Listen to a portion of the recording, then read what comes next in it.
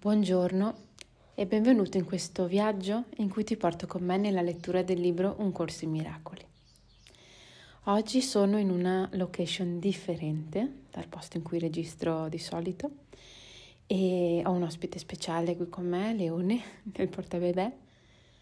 Ho deciso di registrare questo episodio così, con quello che c'è, così com'è, senza pretese e nella totale verità di quello che c'è. Predisponiamoci all'ascolto di questa nuova lezione numero 8. Ascoltiamo i suoni intorno a noi, l'aria del nostro respiro che entra ed esce, inspirando pace ed espirando qualsiasi tensione con la quale siamo arrivati qui, ora, in questo momento. Sentiamo il gusto dentro la nostra bocca, l'aria che entra e l'aria che esce. E ci connettiamo a quel posto in cui niente può essere minacciato, niente è in pericolo e dove sta la nostra vera forza. Lezione numero 8. La mia mente è preoccupata da pensieri del passato. Questa idea, ovviamente, è la ragione per cui vedi solo il passato. Nessuno in realtà vede qualcosa, ognuno vede solo i propri pensieri proiettati all'esterno. La preoccupazione della mente riguardo al passato è la causa dell'errata concezione del tempo di cui soffre il tuo modo di vedere. La tua mente non può cogliere il presente, che è l'unico momento che c'è quindi non può comprendere il tempo e non può di fatto comprendere nulla. L'unico pensiero totalmente vero che si può mantenere sul passato è che non è qui. Pensare ad esso è quindi pensare a delle illusioni. Pochissimi si sono resi conto di cosa implichi veramente raffigurare il passato o prevedere il futuro. La mente è veramente vuota quando fa questo, perché in realtà non sta pensando a niente. Lo scopo degli esercizi per oggi è di iniziare ad allenare la tua mente a riconoscere quando in realtà non sta affatto pensando.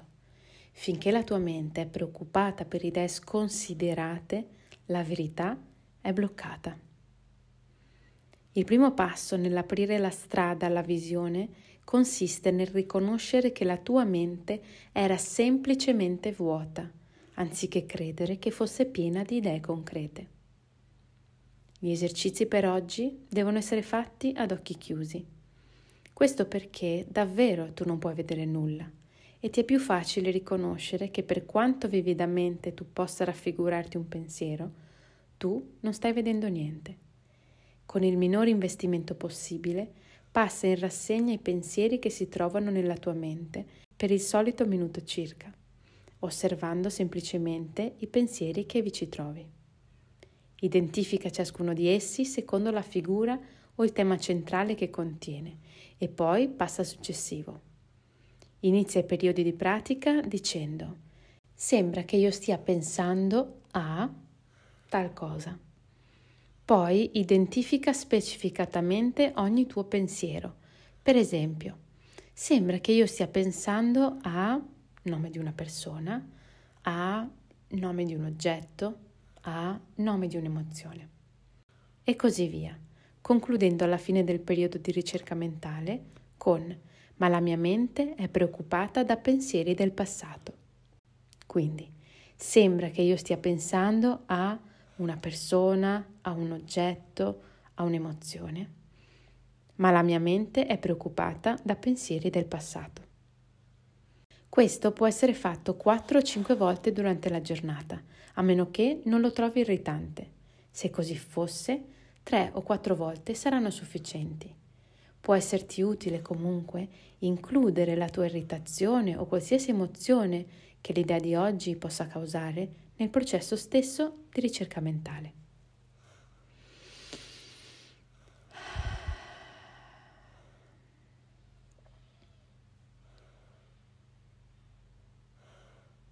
Oggi concludo qui.